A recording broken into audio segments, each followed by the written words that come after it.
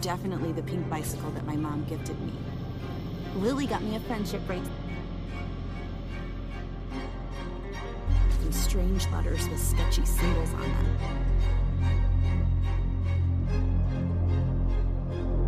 Brad and I had our third date.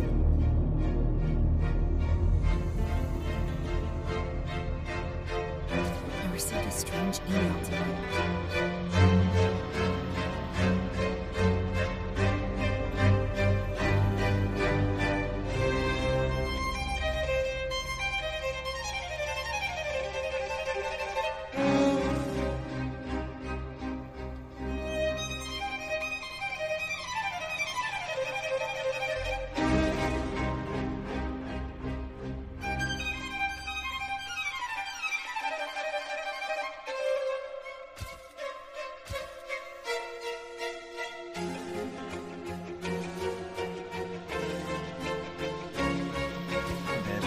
So sorry. I didn't mean to do that.